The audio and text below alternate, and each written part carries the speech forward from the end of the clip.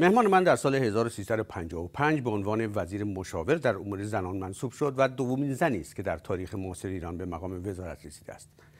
مخالفان شاه در آن زمان و بعد از انقلاب وزارت زنان را تشریفاتی و نقش او را به عنوان وزیر بی تاثیر می دانستند. او که حالا چندین سال است که اینجا در امریکا سازمان بین‌المللی آموزش و همکاری زنان را اداره می کند که خود از اعضای مؤسس آن است به وضعیت اون موقع زنان چگونه نگاه می کند و نظرش درباره وضعیت زنان امروز ایران چیست؟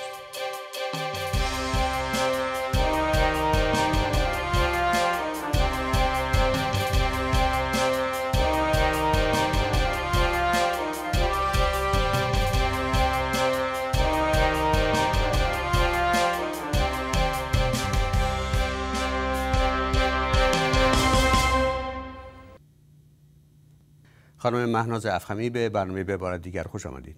خوشحالم که اینجا هستم. خانم افخمی حکومت شاه چقدر در مورد مسائل حقوق زنان جدی بود و شما به عنوان وزیر زن چقدر موثر بودید؟ در دوران قبل از انقلاب مسئله این نبود که آیا دولت در حقیقت فمینیست هست یا طرفدار حقوق زن هست که بعضی ها بودن تا حدی. همه تا حدی بودن. اون که مهم بود این بود که هدف دولت و اون که دنبالش بود توسعه بود و پیشرفت و مدرنیزم و به نحوی با دنیای پیشرفته همگام بودن. و در این زمینه برای ما موقعیت های خیلی خوبی بود که بتونیم وضع زن رو به توسعه و پیشرفت و مدرنیزم مربوط کنیم ارتباط بدیم. اگر ما صحبتمون این بود که اگر می‌خوایم که صد درصد با سوادی در مملکت باشه اگر می‌خوایم که کارگر حرفه‌ای کارا داشته باشیم اگر می‌خوایم که مردم شریک باشن در مسئله توسعه و و مسائل دیگه هم نصف جمعیت زنان هستن و این نصف جمعیتی است که نصف دیگر رو آموزش میده. پس در نتیجه یک زمینه برای بحث و تبادل نظر و فشار در زمینه مشارکت زنان به وجود می آمد و هر ماه هر سال بیشتر با آگاهی که پیش حالا علت اینکه من این سوالو می‌کنم اینه که خب بسیاری اینجور هم به حال تاریخ اینطوری نشون داد که مملکت ایران در زمان شاه یک حکومت دموکراتیکی نبود. یعنی دولت معنی نمی‌داد زیاد. وزرا زیاد اختیاراتی نداشتن تصمیمات رو خود شخص شاه می‌گرفت. حالا در در چنین وضعیتی بسیاری معتقدن که وزیر زن هم می‌تونه مثل بقیه وزرا بی تاثیر و بی معنی بشه عملا. خب اینا می‌دونین ما در یک جو منقلبی بیشترمون به رشد و به اصطلاح زندگی ادالتمون رسیدیم. اینا یه مقداریش قابل توجهش تبلیغاته. من به عنوان کسی که در هیئت وزیران ایران برای سه سال کار می‌کردم می‌دیدم که گردوندن یک مملکت پیچیده و با مسائل بسیار و با آرزوها و هدفهای خیلی والا کار یک نفر نیست. حتی اگر اون یک نفر واقعا می‌خواست این کار بکنه و حتی اگر اون قدرت فوق العاده می داشت مسائل پیچیده ای بود. در مملکت صد ساخته می‌شد. صنعت به وجود می آمد بهداشت عملی می‌شد. جاده ساخته می‌شد. دانشگاه ها به وجود می آمد البته که وزرا اختیار داشتن و البته که نه تنها وزرا کادرهای مختلف متخصصین مشارکت داشتن در اینکه تصمیم ها چجوری گرفته می‌شد. در بعضی زمینه ها مثل مسائل مربوط به نفت و مسائل مربوط به امور خارجی البته و مسائل مربوط به نظامی مسائل نظامی شاه واقعا نظرات خودشون رو شدیدن اعمال می‌کرد.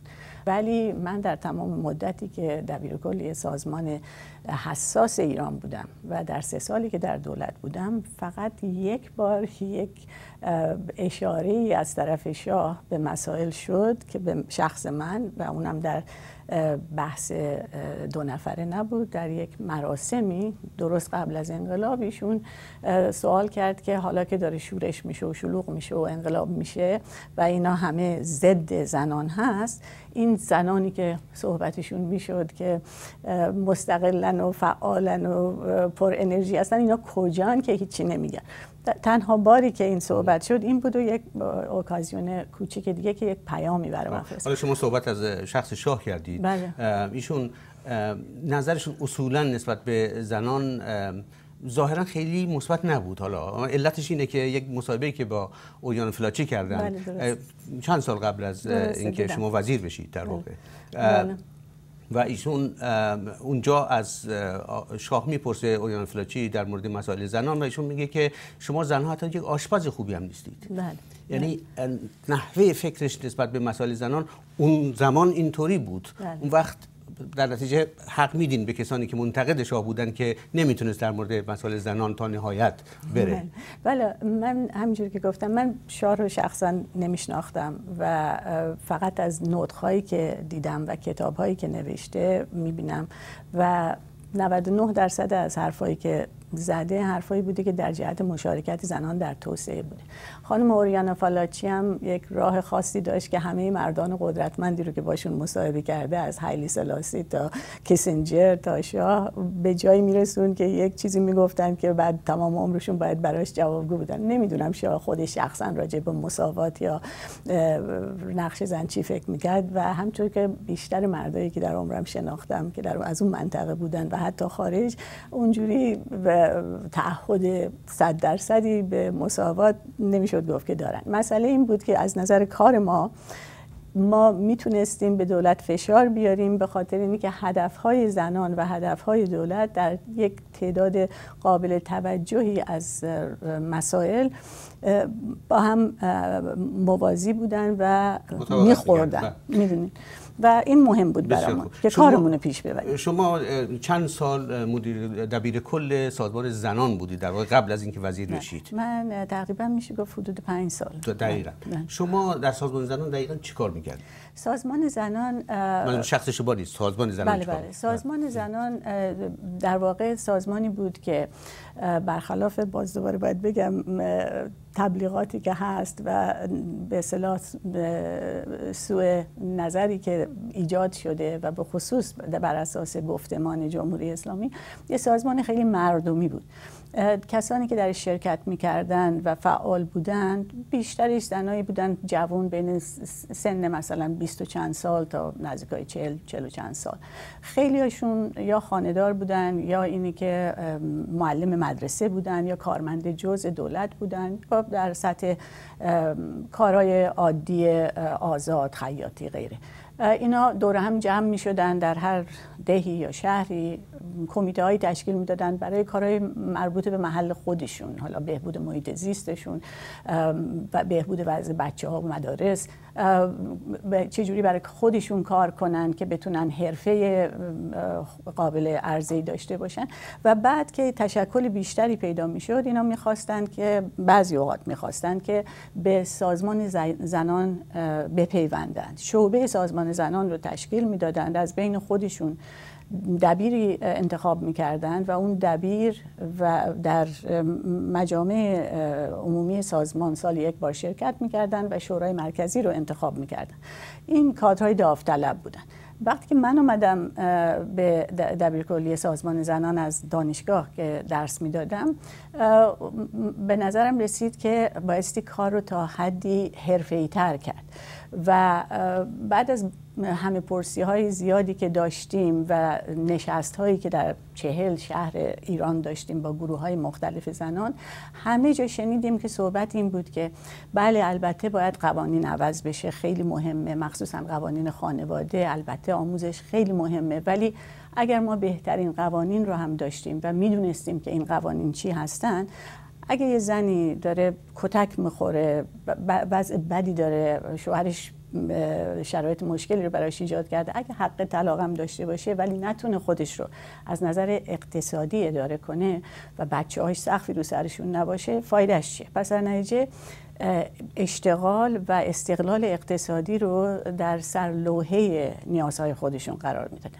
و دورش البته یه سلسله فعالیت هایی که به اون هدف برسن. یکی سازمان زنان ببخشید هفتون قد میگم بله، سازمان زنان تو این زمینه بیشتر نقش آگاهی دادن به زنان نسبت به حقوقشون و حالا مسائل حرفه‌ای و شغلی و اینا بود یا اینکه عملا سرمایه میذاشت و امکان شغلی هم ایجاد می‌کرد. نه امکان شغلی که می‌دونین ما از اوتش بر نمیدیم سازمان 80 درصدش داوطلب بود. در یه میلیون داوطلب در سازمان زنان بود. اینی که کاری که ما می‌کردیم در اصل در وسیع ترین سطحی آگاه سازی بود. ولی خب برای آگاه سازی باید یه چیزایی رو ارائه می کردیم که اون بکشه زنان رو به طرف دور هم جمع شدن و با هم کار کردن که همیشه هم آسون نبود چون فقط خود زنان نبودن که باید درشون گرایش به کار دست جمعی ایجاد می شد ولی اصلا اینکه خانواده در یک محله کم درآمد کم سواد یک شهری اجازه بده که زنی از خونه خارج شه و بیاد در این شرایط خودش مسئله مهمی بود. برای همین هم بود که بایستی یه چیزی ارائه داده بشه که جلب علاقه زنان رو بکنه براشون مفید باشه و برای خانواده هم قابل قبول و مفید باشه و در یه محیطی که از نظر اونها امن تشخیص داده می‌شد. برای همین بود که بعضی جاها سعی می‌کردیم که مثلا افراد قابل احترام مذهبی خانوادهشون شرکت کنن یا کسانی که مورد تایید جامعه بودن شرکت کنن که تشویق کنه به اینکه مردم بسیار. یکی از دستاوردهایی که معمولا به عنوان دستاورد بزرگی سازمان زنان قلمداد میشه مسئله قانون حمایت خانواده است. بله.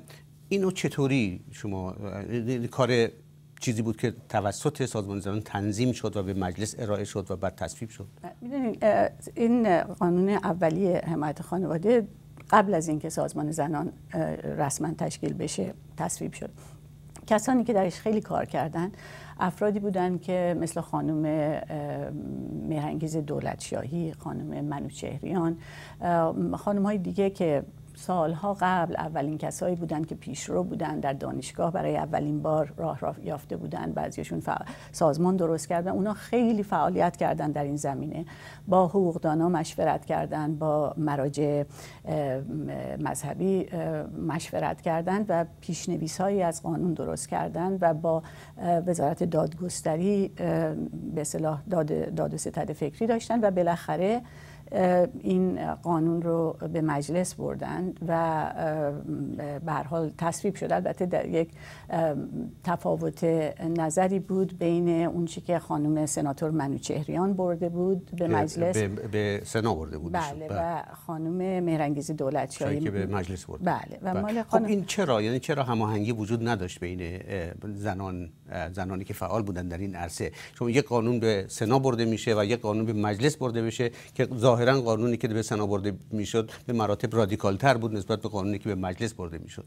و به همین دلیل شاید هفت سال طول کشید تا بالاخره اینو به نهایت هم به تصویب برسه.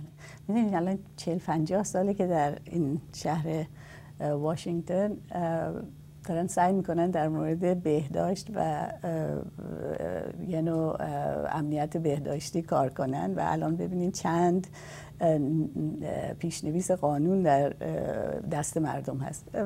خب، یعنی افراد مختلف نظرهای مثلا خانم منوچهریان خیلی رادیکال تر فکر می‌کرد خیلی به خاطر سابقه ای که در همکاری با حقوق بشر داشت در سطح بین المللی خیلی شدیدتر پیش می‌رفت. خانم دولت شاهی ملایمتر پیش می‌رفت و لزوم به اصطلاح هم فکری رو با گروه های مختلف افراد مختلف که صاحب نظر بودن بیشتر رعایت می‌کرد. برای همین بود که مال اون موفق شد. مال خانم منوچهریان نتونست در اون زمان.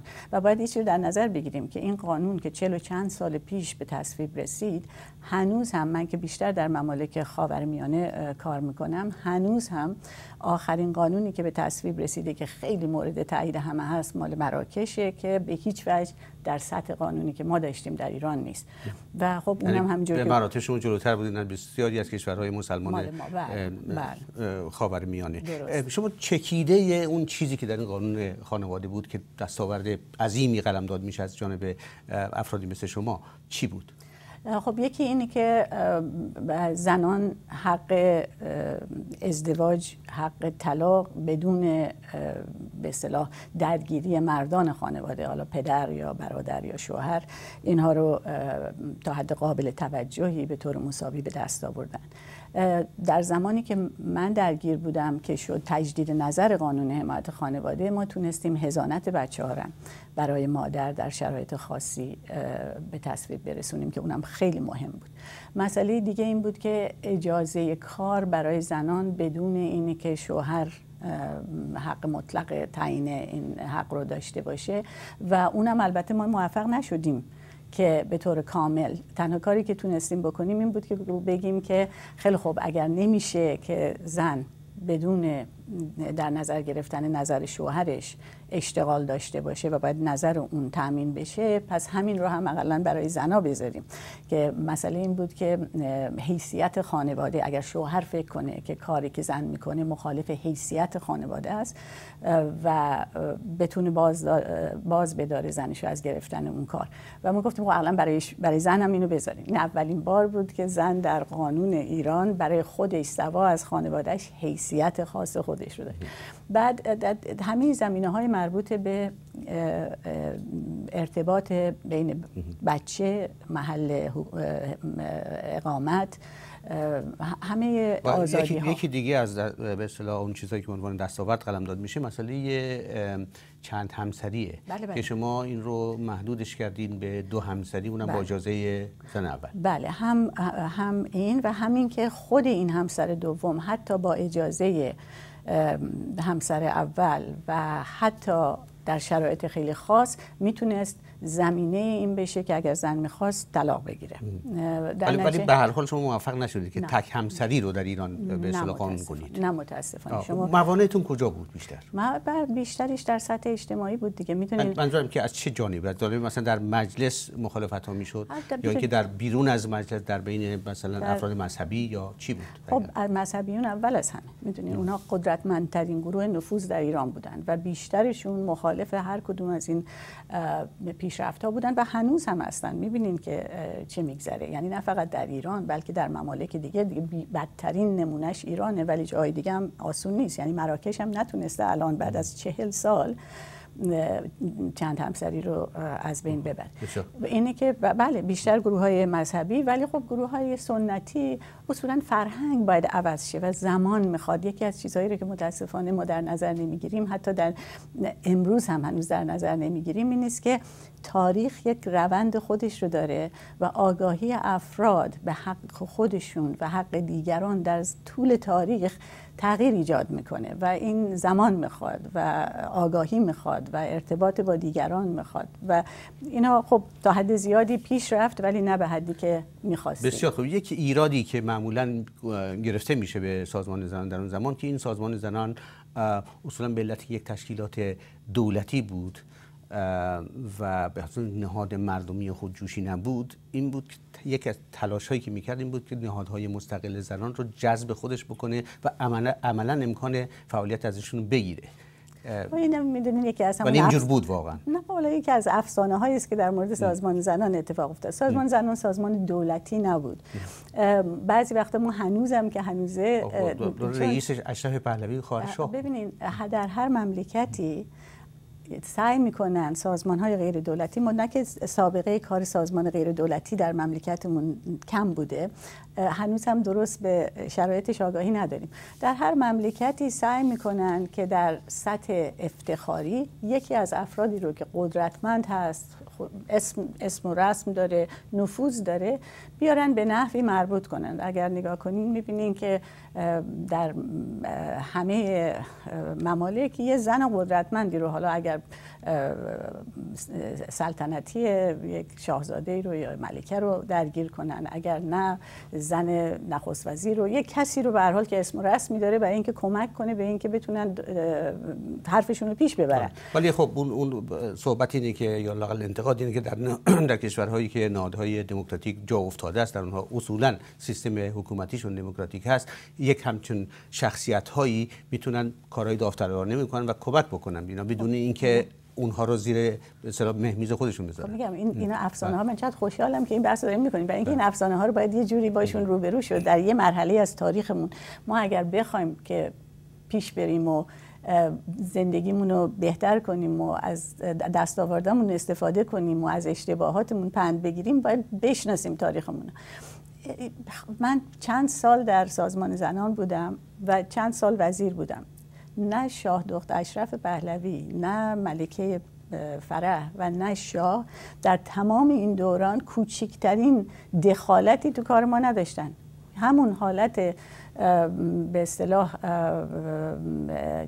آنرری که صحبتش هست تشریفاتی که هست. البته ما بعضی وقتا این اشتباه رو می‌کردیم و من خیلی دلم می‌خواد که این اشتباهاتمون رو در میون بذاریم. که بعضی وقتا برای اینی که به اصطلاح راه کوتاهتری پیدا کنیم به طرف هدف نقش این افراد رو تشریفات این افراد رو بیش از اونچه که لازم بود و بیش از اونچه که برامون مفید بود نمایش می‌دادیم. یا مثلا بعضی از دستاوردهای سالن زنان رو نسبت می‌دادیم به شاه که مثلا دستاورد شاه درسته. و این اشتباه بزرگی بود. و اینکه ما می‌دونستیم که این زحمت زنانه که داریم به اینجا می... البته بهتون بگم ما این اشتباه رو می‌کردیم و درسته که ایراد به ما گرفته بشه.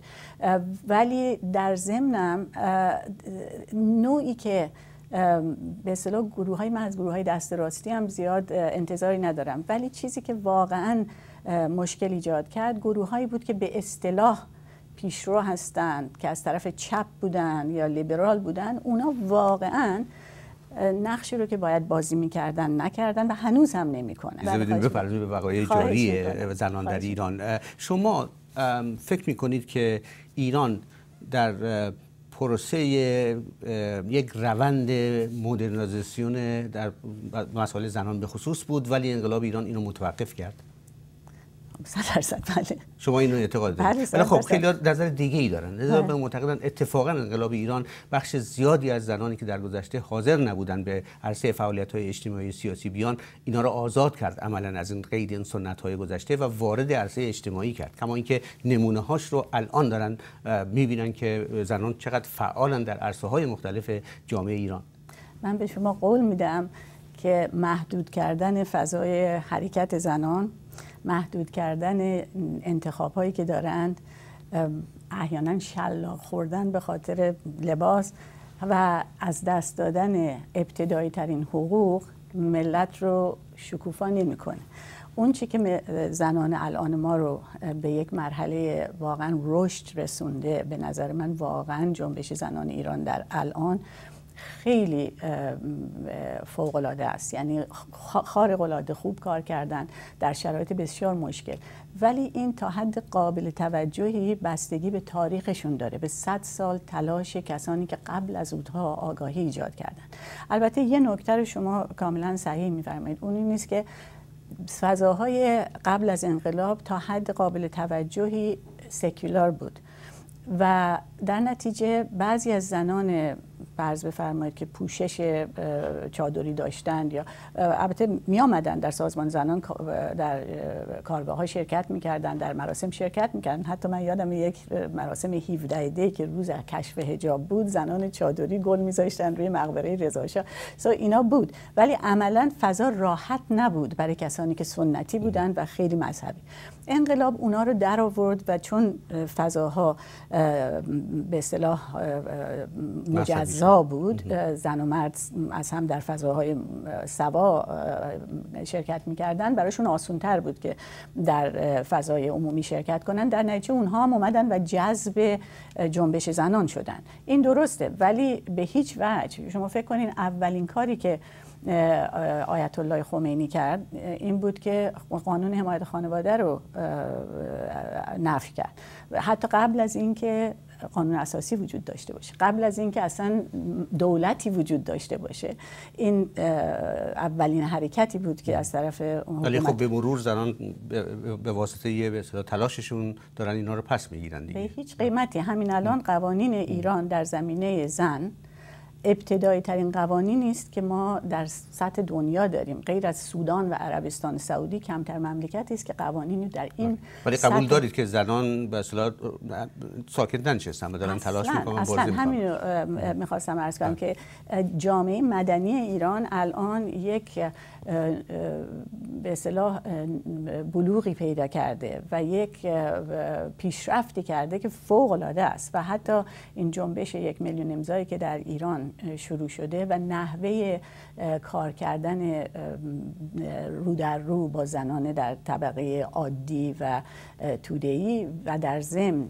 کار کردن در سطح بین المللی از طریق وسایل ارتباط جمعی فوق العاده نمونه خوبیه. وقتمون خیلی تنگه خانم افخمی می‌خواستم فقط یه سوال آخر بکنم. لطفا خیلی فشرده به من جواب بدید. شما خیلی طی این سالها فعال بودید. کتاب‌های زیادی نوشتین که نمونه‌اش اینجا هم گذاشتین. و همینطور در سازمان بین‌المللی آموزش همکاری زنانی که خود شما از اعضای مؤسسش هستین خیلی فعالین در این زمینه. با همه اینها شما چطوری وضعیت زنان ایران رو با کشورهایی که در چارچوب همین سازمان باشون کار می‌کنین مقایسه می‌کنین؟ در سطح حقوق در سطح قوانین عقب افتاده ترین یکی از عقب افتاده ترین ممالکی است که وجود داره. و از نظر فشارهایی که برای زنان میاد و محدود کردن امکاناتشون بیشترین محدودیت رو داره. ولی از نظر نقش زنان به عنوان فرد یا به عنوان گروه هایی که مستقل از این شرایط سعی می‌کنند یکی از پیشرفته ترین و البته بهتون بگم زنای فعال ایران الان خیلی بهتر از انتلکتوالا و محققینی که در خارج کار می‌کنند و یا در گذشته فعال بودند تاریخ خودشون رو درک می‌کنند و نظر مثبت دارن راجع به تاریخ خودشون که اینم یکی از دلایل بلوغشون. خیلی متشکرم خانم مهناز شرکت در برنامه ممنون